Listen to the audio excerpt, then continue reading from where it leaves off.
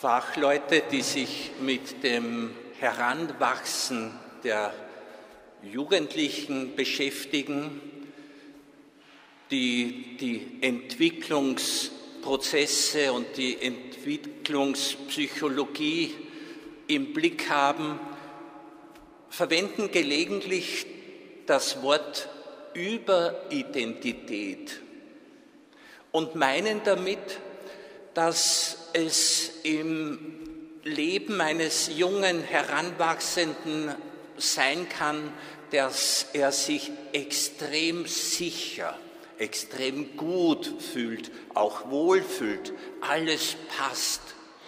Und er hat alles im Griff. Die anderen sind in seinen Augen ein bisschen unsicher, wissen nicht ganz, worauf es ankommt. Überidentität wird es genannt.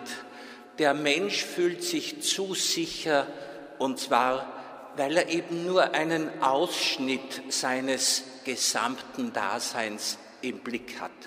Momentan schaut es sehr gut aus und das gibt ein Lebensgefühl, welches vieles auch dann ausblendet. Möglicherweise ist es der Stadt Ninive so ergangen, sie wird im Zuge einer Weisheitsgeschichte aus dem Buch Jona eben erwähnt. Sie steht für die große, erfolgreiche Stadt mit vielen Einwohnern, mit hoher Bildung, aber ohne Glauben an Gott.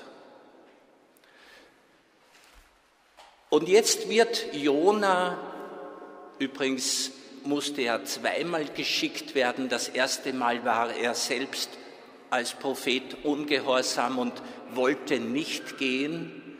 Jetzt wurde uns geschildert, dass er tatsächlich gegangen ist. Er geht in die Stadt und droht Unheil an. Und es ist wichtig, dass wir mit Licht und Heiligem Geist auf diese Worte schauen, denn es ist niemals Gott, der einem Menschen oder einem Volk das Unheil bereitet. Gott zerstört seine Schöpfung nicht. Die Worte des Propheten Jona sind so zu verstehen, wenn ihr euch nicht Gott zuwendet, dann wird es ganz schlimm werden mit euch und eurer Stadt. Also wendet euch dem zu, von dem euer Leben kommt und lebt nicht emanzipiert von ihm, lebt in Rücksprache mit ihm, lebt im Hören auf ihn und seid gefügig. Lasst euch etwas sagen und lasst euch eben Einsicht schenken. Und tatsächlich,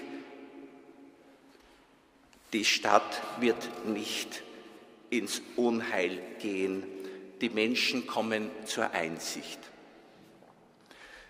Wenn Jesus sagt, die Zeit ist erfüllt, das Reich Gottes ist nahe, dann will das bedeuten, jetzt seit ich da bin, gibt es eigentlich keine Ausrede mehr für die, die mich kennenlernen.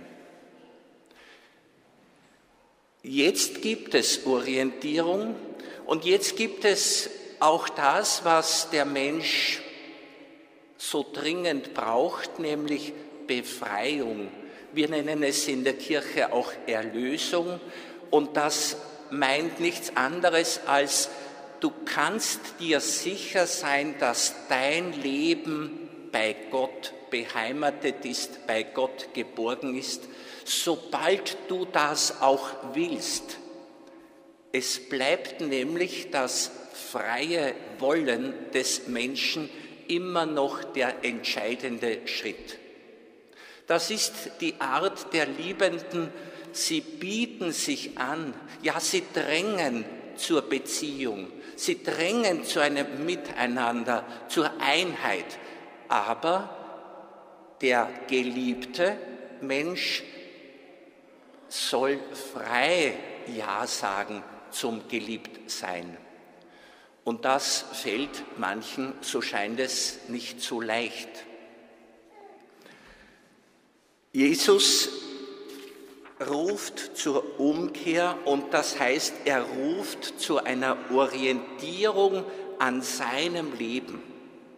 Er ruft zu einer Orientierung, die das Ewige mit im Blick hat. Er ruft zu einer Orientierung, die nicht nur das Naturhafte des Menschseins und der Schöpfung aktiviert hat. Und es soll die Natur des Menschen voll aktiviert sein, aber es bleibt trotzdem das Naturhafte nicht genügend.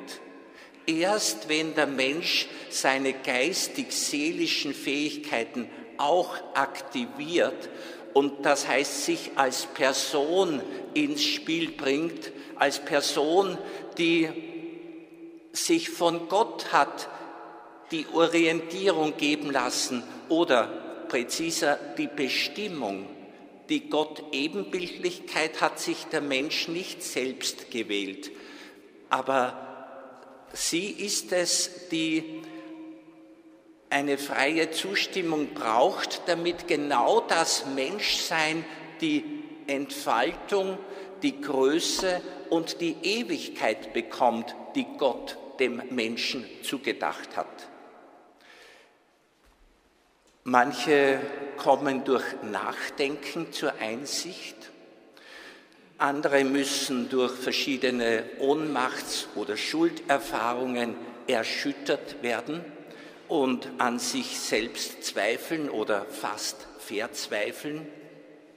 Und dann kann es sein, wie Madeleine Delprel es einmal formuliert hat, es gibt den selig Verzweifelten und damit meint sie den Menschen, der kapituliert. Und zwar, weil er es alleine nicht schafft, so gut er es auch meinte und wollte.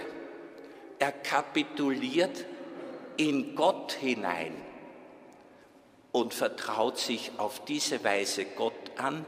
Und jetzt lernt er Gott als den rettenden Gott kennen, als den, der Halt gibt, als den, der Liebe schenkt ohne Maß und ohne Vorbedingung.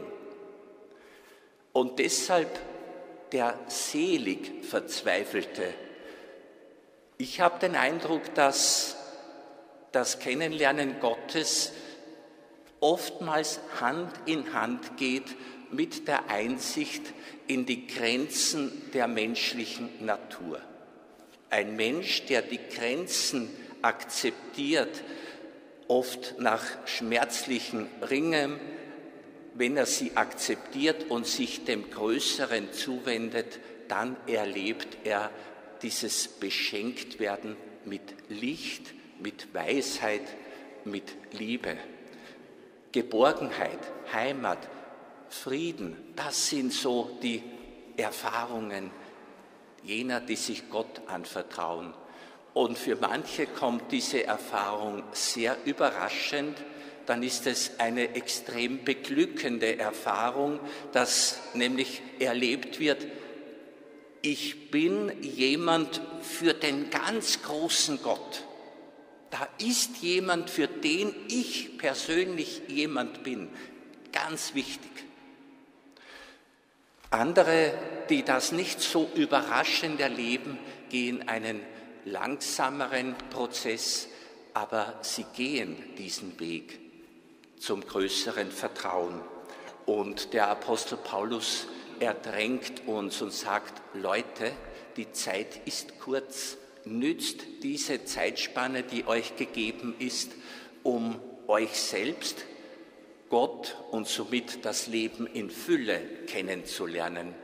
Und wenn er rät, dass Verheiratete so leben sollen, als wären sie nicht Verheiratete oder Einkaufende, als wären sie nicht Besitzer und so weiter, oder Weinende, als weinen sie doch nicht und Freuende, als würden sie sich nicht freuen, dann will er uns darauf hinweisen, was immer du hast und tust, Es ist nicht das Letzte, es ist nicht das Größte, es ist nicht das Absolute. Rechne mit dem Größten, rechne mit dem Letzten, rechne mit dem Absoluten. In Jesus begegnet dir das Größte, das Beste, das Absolute. Amen.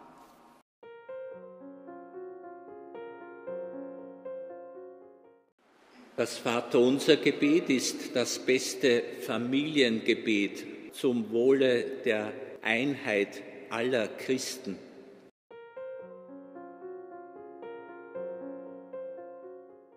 Herr Jesus, wie du mich aufnimmst, will ich dich aufnehmen.